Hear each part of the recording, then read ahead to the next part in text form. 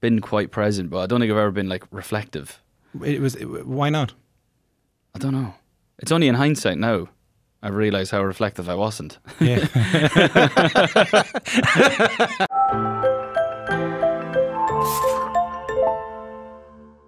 I love the new record so much. Thank you. Have you listened? Yeah, man. Um, I, I love. I love the single. I love Heaven. I love Must Be Love, the last track on the record. Yep. Beautiful, really great pop record. I was I was texting Vanessa about it this morning and saying, I it wasn't I saying I can't get over how great Niall's record is. So congratulations on Thanks it. very much. And I was so delighted to see you on St. Patrick's Day. I was, you know, I was going through Instagram and all that, and there you were with uh, with Joe Biden at the St. Patrick's Day celebration at the White House. How was that? It sounds even more ridiculous every time I hear it. Uh, it was incredible, yeah. Um, when we got the invite, I thought it was a joke. We thought it was we spammed it. We like we thought it was a all a, a lie. It just was like someone's name at thewhitehouse.com. if we would like the president would like to invite Niall as a guest to perform at St Patrick's, and we were like, that's a that has to be a joke. Um, turned out it wasn't, and we got suited and booted and flew to DC, and yeah, I won't forget that St Patrick's Day. And you were there, sort of representing Ireland, and sort of representing your country in a really interesting way. Too, Yeah, you know? exactly. I, s- I kind of said that on stage. I was like, there's so many gifted people from Ireland that you could have here, and you've chosen me, and um, I appreciate it. And yeah, it was just, it was all a bit um, overwhelming, but um, incredible. And he was really nice man, and Ballina, right, Mayo? yeah, Ma- Mayo and somewhere in Louth, I think. Yeah. But uh, he he f- he felt really Irish to me, kind of like the way you do. um, yeah, he like when I when I was speaking to him, everything you know, apart from the accent, felt re- really Irish. Like Yeah. the way he, his isms and his his storytelling and his way he like speaks to you and holds onto your arm when he talks to you and all that. he, he could have easily been Joe Biden from from Ballina. From Ballina. did you? What did you see? You sang Heaven. I did Heaven. I did um, This Town. I did Flicker, and I they asked if I would do an Irish song, Yeah. and I did Spancel Hill. Wow. When I heard I was going to be doing it, I was the first thing that came to my mind was that song, just because of the, you know, the immigration stories of Irish people leaving and and moving to America to make a new life. Um, and there's so many stories like it. Um, the whole east coast of the whole east coast of America is just full of Irish people. Yeah. Um, between Boston, Chicago, and New York alone. I've been wondering about you, especially listening to this record, because it's been about what? How many years since I saw you? Three I years. seen you here probably 2019, early 2020 maybe, when I was on the run for the last album that stopped. So pandemic. Um, I guess just a lot of life. Are you? Do you feel different now than the last time I saw you? Yeah, I would say so. Um, I didn't realize how formative 25 to 30 would be.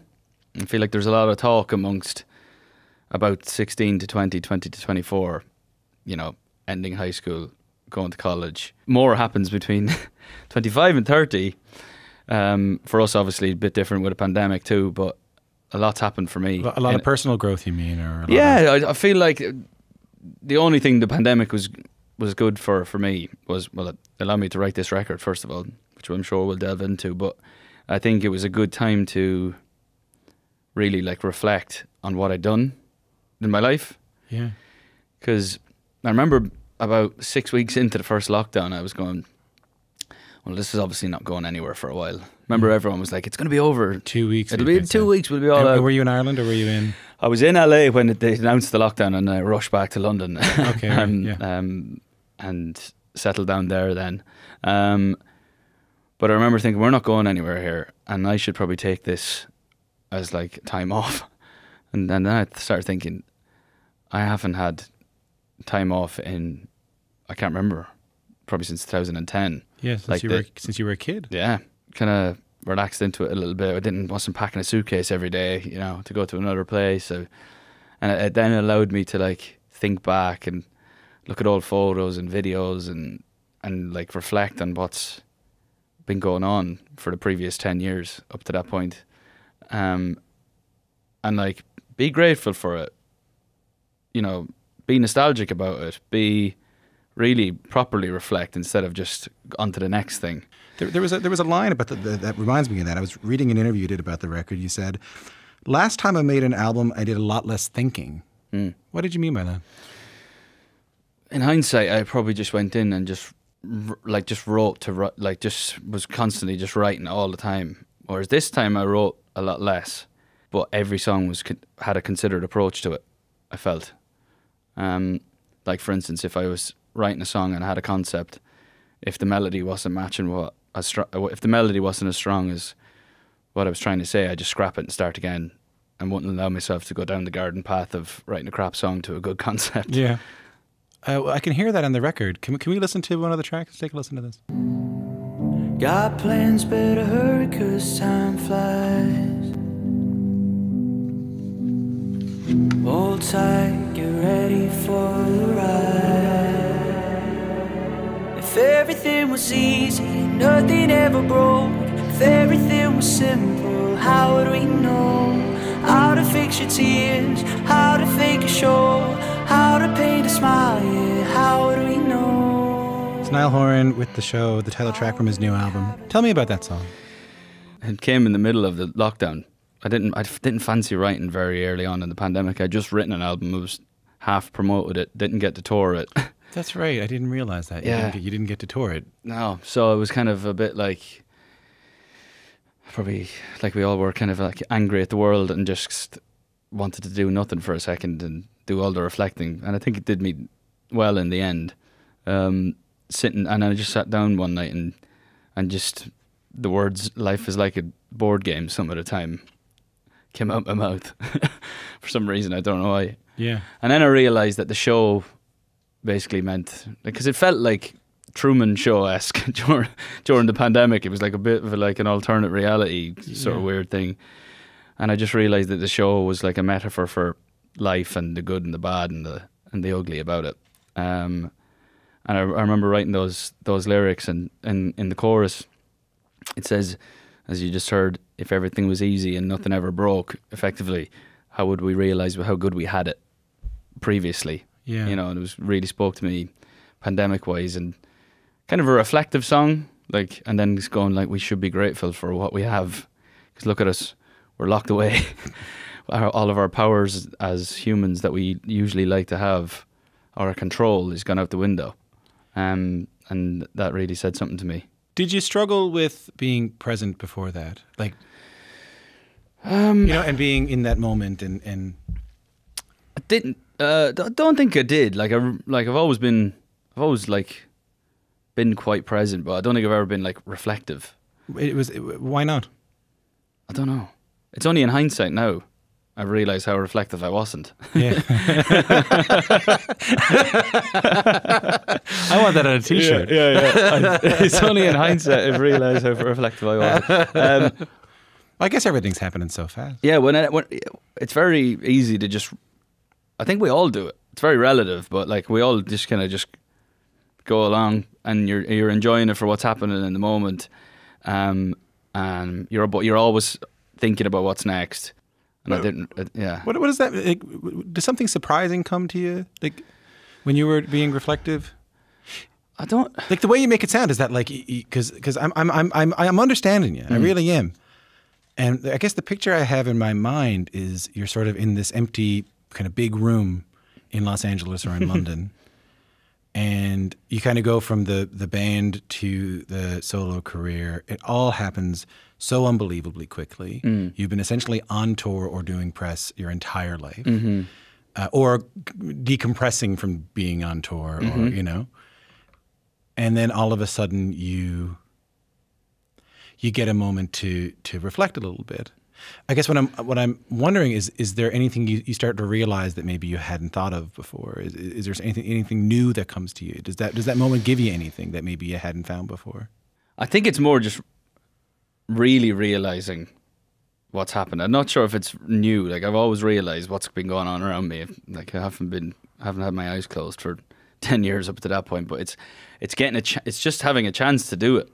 When you're, as I said, when you're moving all the time, you don't get the chance to do it.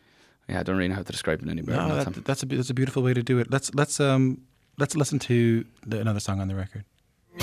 Let's not get complicated.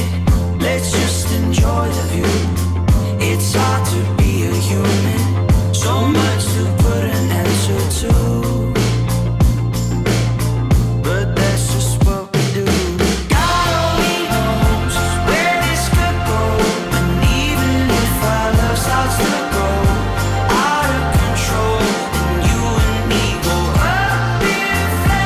That's my favorite chorus I've heard.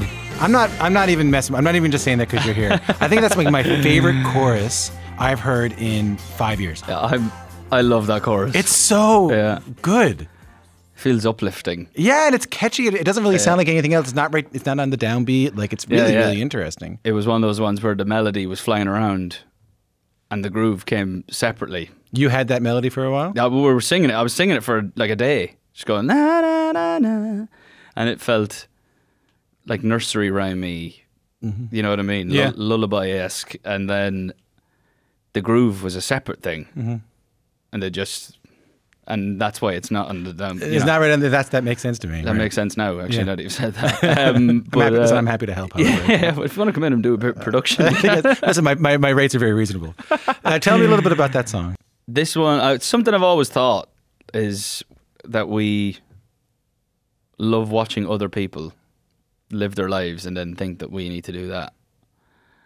We love Um, watching. We love watching other people live their lives and think that we need to do that. We we, we watch like, Like, we watch The Perfect Life, or you know, it's but like I'm thinking about growing up, and you see, you know, you leave school, you get your degree, you settle down, you have kids, you buy a house, you live happily ever after. You yeah. know, like- eventually, they have kids. You become a grandparent. You retire from your job. Yeah, yeah. You, you you become a pensioner and you and you watch TV and you go to bed. correct. Yeah. play a bit of golf there too. Yeah, you're right.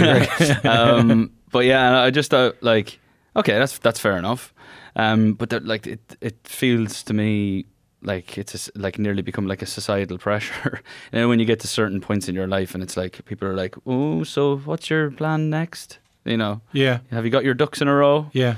And I've just thought, I don't know why, I've just even since a kid, like I've always been a bit like blasé about the whole thing and just kind of fingers crossed, hope for the best, cross that bridge when I come to it. Obviously, um, so I just I, I always thought it was a cool topic to write about, and I've like with with my relationship now, I've always been. I think previously, I remember writing a song on my last album called "Dear Patience," and it was this me writing, writing to myself, going, "Be patient here, live in the moment, don't try and ruin it within the first few months because you get scared and like it." Um, and I think this was me writing the, the counter to that was basically saying, don't try and future proof anything here. Really, like, live in the moment, take it as it goes, you know, the good, the bad that comes with it, and it'll blossom into something that hopefully turns out great. But I'm not like trying to future proof, basically, is what I'm saying. When you're when you're in a relationship, there's this feeling that like, okay, this is going well. How Mm. do I make sure it, it lasts forever? Mm-hmm. And then then there's marriage, and then there's all Mm. these things that that life demands in us. And maybe I have felt pressure to do, or I have felt pressure from my family, or Mm. from society, or from especially in Ireland. You know, like Mm-hmm. a, a certain sort of uh, a certain sort of life.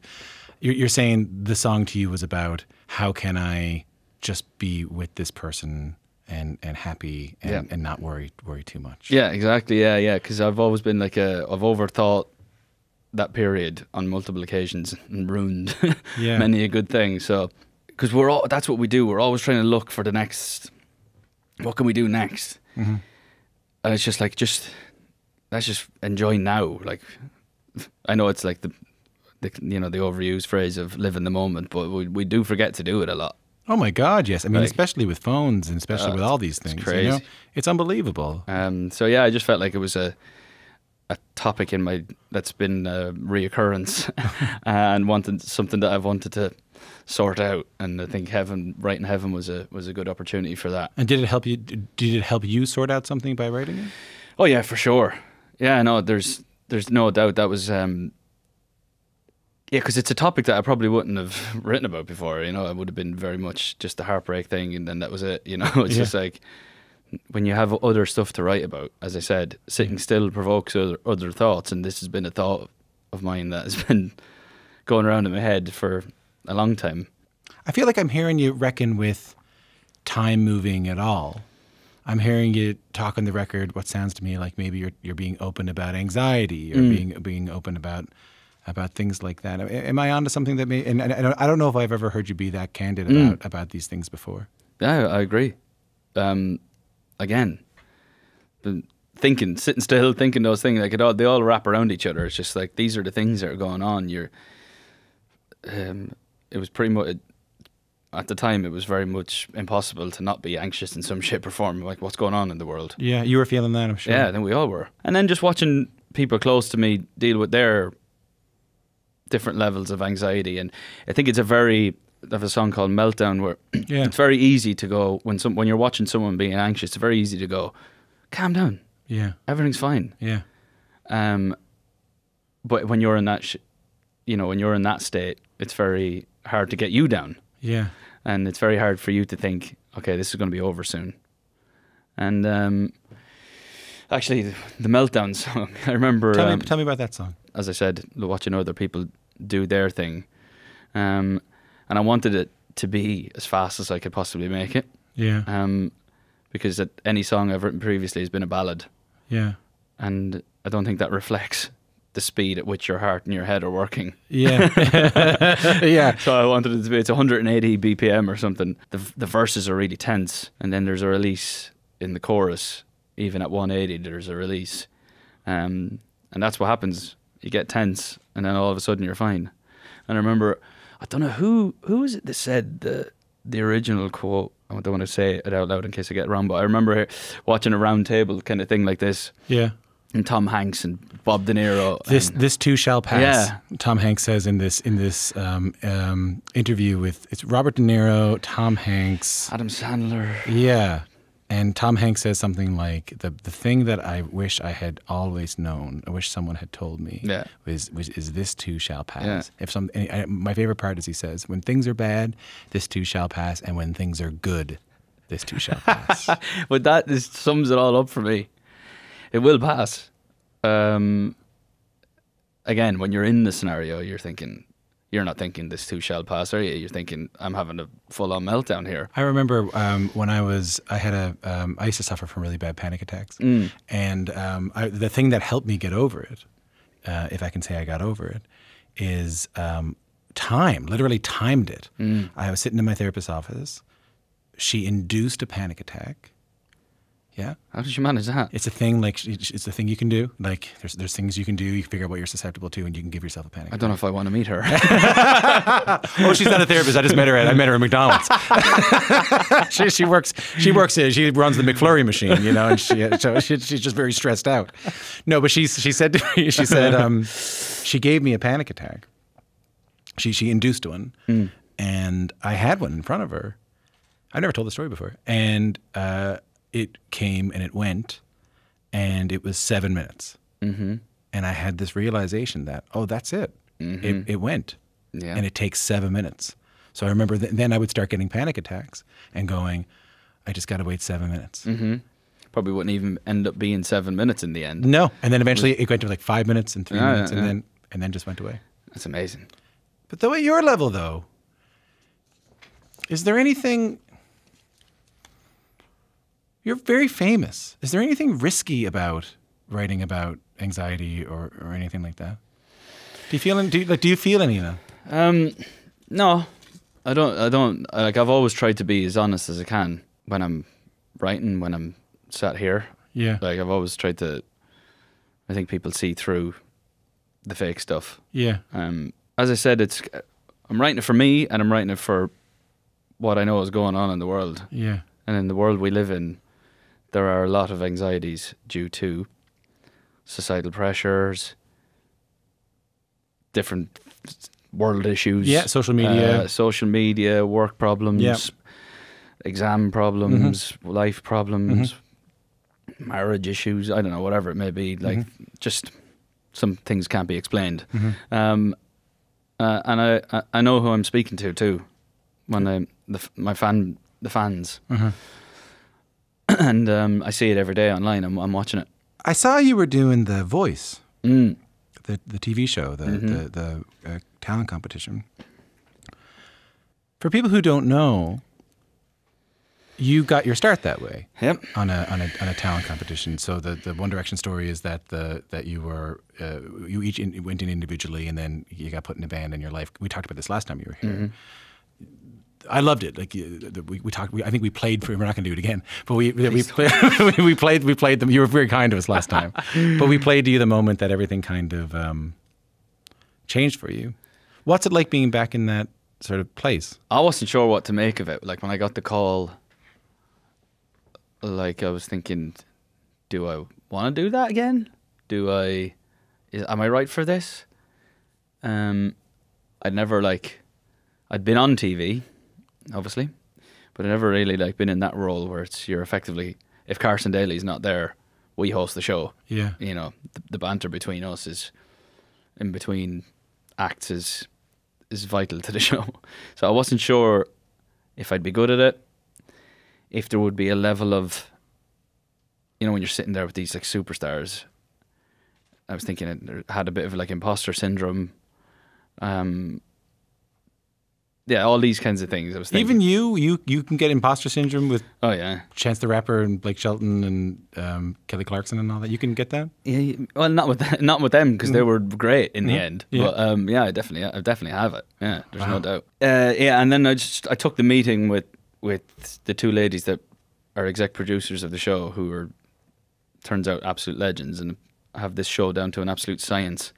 Um, and then I was I was just all in, and what I was worried about was that if it was going to be overproduced on the spot, mm-hmm. told what to do, say mm-hmm. who to pick, mm-hmm.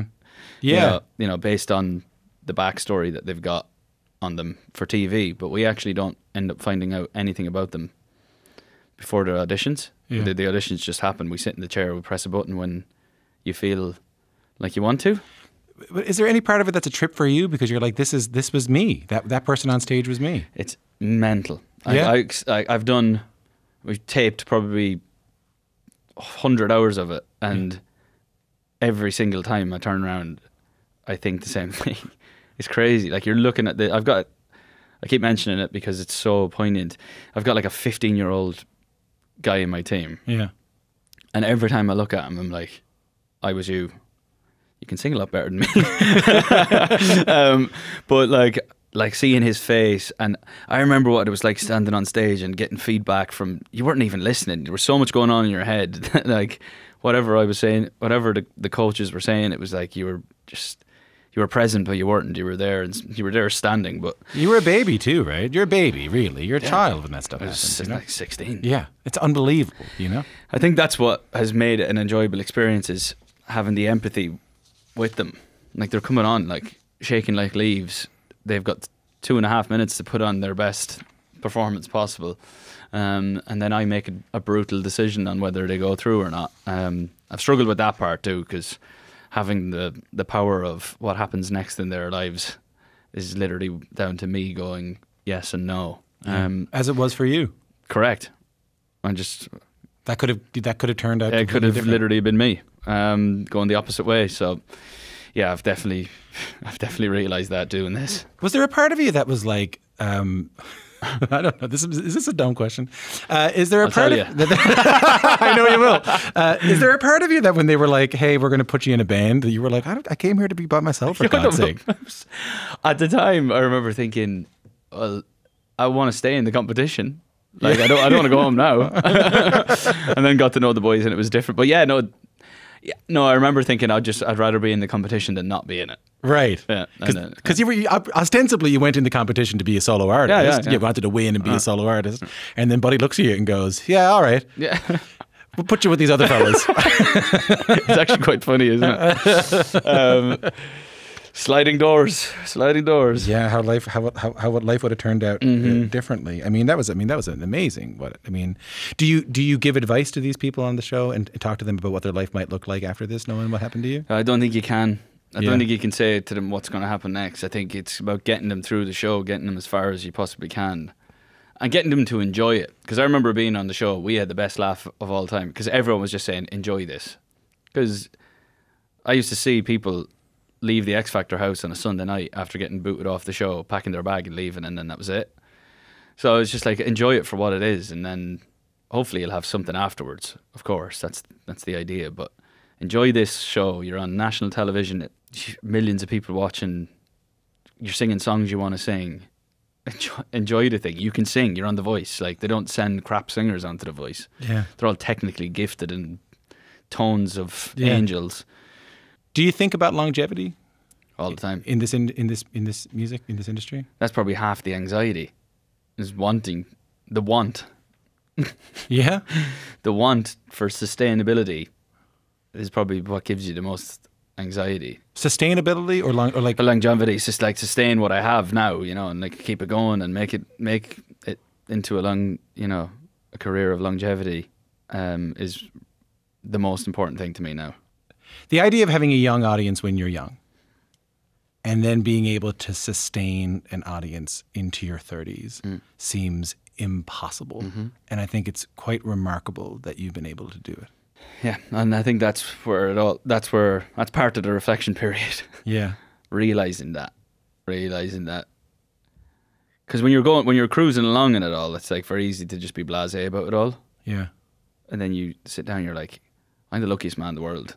But I'm looking at the crowd now, and like I just came from a thing, and I sat in front of fifty of them, and it's it's just coming up with me. Yeah. I think that's half the thing as well as they're all the same age.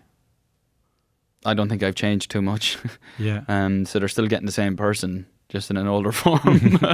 um, yeah, I don't know what it's down to, but I just know that I'm very lucky to have it. It sounds like it's down to the honesty that you were talking about. You said to me, I, I, I, I, caught that earlier when you said, you didn't just say, I'll be honest with you, Tom, you know, that's the way I want to live my life. But you said, people can tell, Oh, there's no doubt. you know?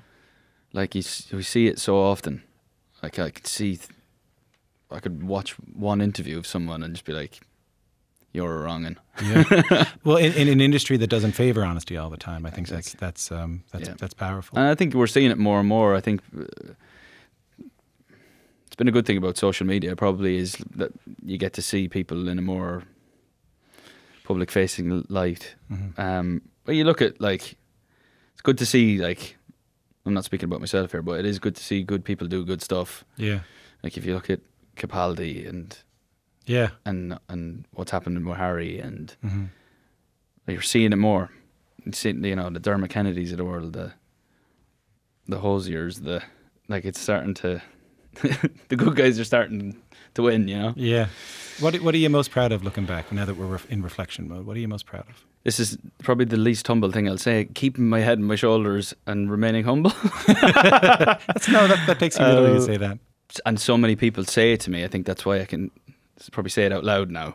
Um, considering what um, has happened to me at, at a young age, I, I- I sometimes shock myself how I haven't lost the plot. Oh, I can tell you that um, from the moment I met you, I felt that way about you, by, and uh, uh, it's a it's a great new record, and it's exactly what you said it was. It's it's it's reflective, um, it's it's honest, and it's someone uh, understanding their very preca- precarious place in the world, hmm and um, and expressing some appreciation for that. Indeed. I hope we're still talking 30, 40 years from now. I hope we both still have jobs, Tom. Yeah, yeah I, think, you got a better shot than me. I don't know. Um, but thanks for having me again. This is my third time. Come back and again. I feel that gap every time, Tom. Niall Horan was my guest. His new album is called The Show. It is out everywhere June 9th.